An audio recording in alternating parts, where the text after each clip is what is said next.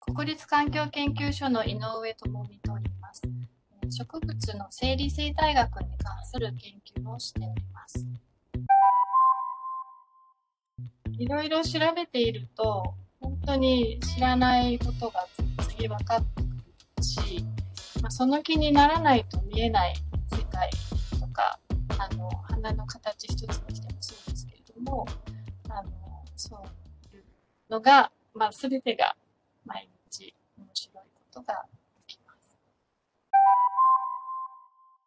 現地調査は国内だと沖縄ですね。私がフィールドに、主にフィールドにしているのは、西表島という南西諸島の、えー、島の一つです。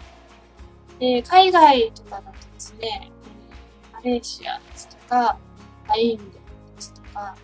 フィジーとか、キリバスったようなところをしてきました。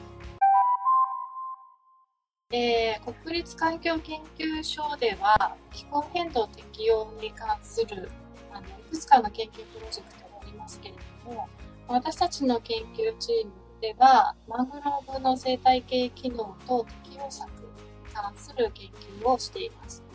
で、まあ、気候変動に伴って、温暖化してくる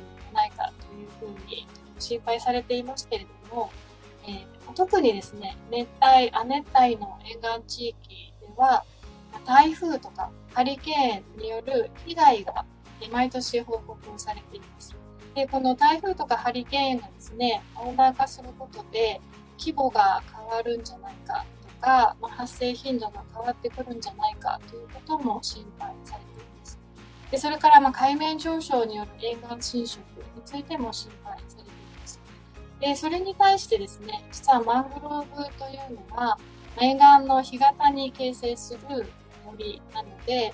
えー、こういった波とか風とか海面上昇から内陸部に住む私たちを守ってくれるという機能があることが分かっています。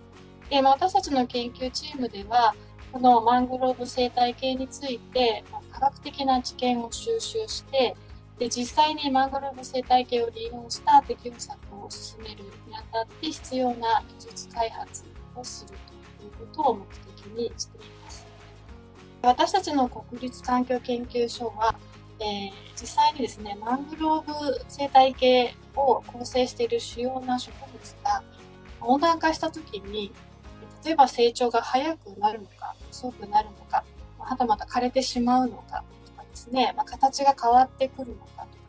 えー、そういったことを、えー、まあ、温室栽培とか、まあ、現地調査、両方、えー、しながらですね、メカニズムベースに基づいた研究を行っています。えっ、と、まあ、まず気候変動の適応プロジェクトということで、私たちが進めている研究によって、実際にあのマングローブを利用して、えー、防災機能を、えー、の機能に、まあ、共存していこうっていう時にですね、ま科学的な知見に基づいた計画ができると期待しています。で、現在は、まあ、ほとんど科学的な知見がないので、例えば、じゃあここにマングローブを植林しようと思った時に、どの樹種をどれぐらいの幅植えれば将来にあの